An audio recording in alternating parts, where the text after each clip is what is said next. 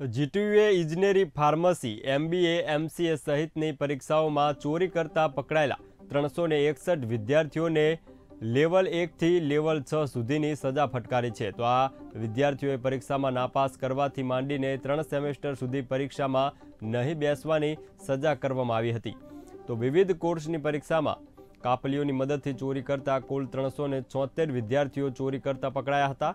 આ વિદ્યાર્થીઓની સામે જીટીયુના પ્રતિનિધિઓએ કોપી કેસ કર્યો હતો. આ અંગે યુએફએસ, યુએફએસએમ કમિટીની સુનાવણી દરમિયાન આ વિદ્યાર્થીઓ હાજર રહ્યા હતા.